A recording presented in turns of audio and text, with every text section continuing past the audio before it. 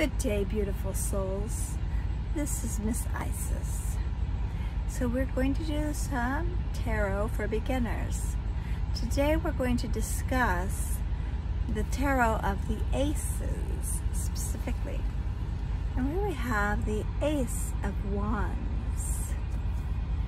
Then we're going to talk about the ace of cups. Then we'll talk about the Ace of Swords. And then the Ace of Pentacles. And what do they mean in your reading? These are very important. The Ace of Wands is a suit which is embodied from the element of the root of the aces, which is the nearest suit and that root has its beginnings in heaven. The aces are very powerful cards. They are the most powerful cards in the minor arcana. And when you get an ace in a reading, you know something big is happening. A strong force is present, and you take it seriously. Each of these is very close to the element itself now, let us take a look at the Ace of Wands. It is at the top of the tree of the life, the Kether. Therefore, the Ace of Wands is in the tree of life at the Kether. Therefore, it is the spirit to be a Karante Ace of Wands is a masculine card. The Wands is valiant, looking so alive with the leaves showing on the showing on the rushing of the spring. And the leaves are like yods. In the Hebrew alphabet yod hey vav hey yod. So we take a look at that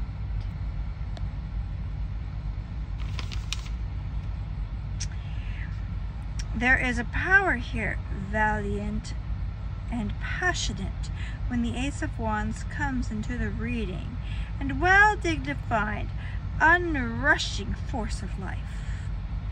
When showing in the negative,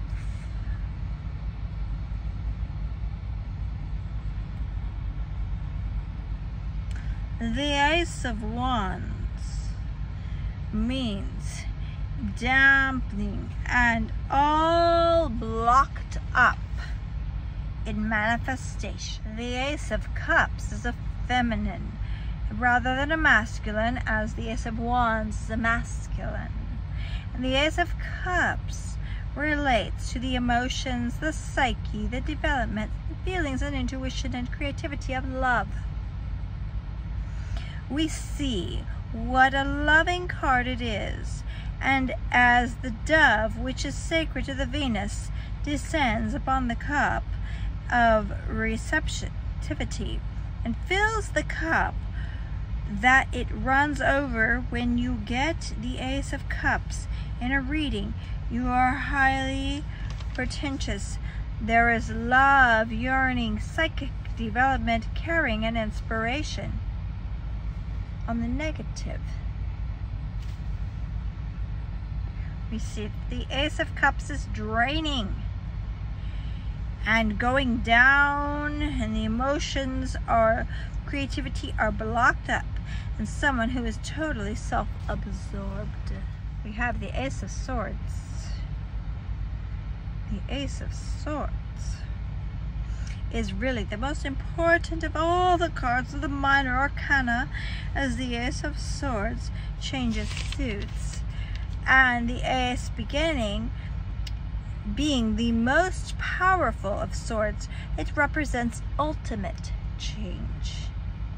Change is coming, change in your process. This is the sword of truth, and it represents the middle pillar of the tree of life. At the top of its crown is the kata,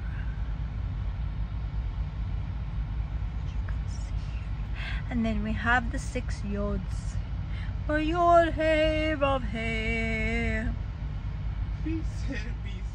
The six Sephirot, which are a representation of the sun, which is a direct reflection of the Keter.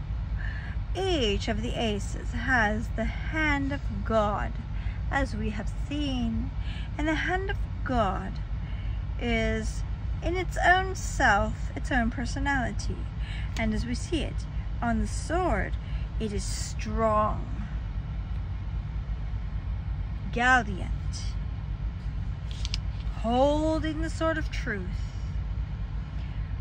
showing in its reading that we know a change is yet to arrive and it will be drastic and positive.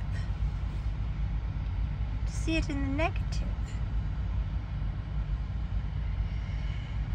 would be identifying that someone is untruthful, they are no good, they're deceptive, no and their change is blocked. The Ace of Pentacles is not just a coin. Oops, sorry. Oof, my phone has flipped. Okay, it is not just a coin that we see. It is a magical symbol of earth in the garden, the Garden of Eden, and it represents the pentacle of manifestation. Anytime you get a pentacle, it represents manifestation.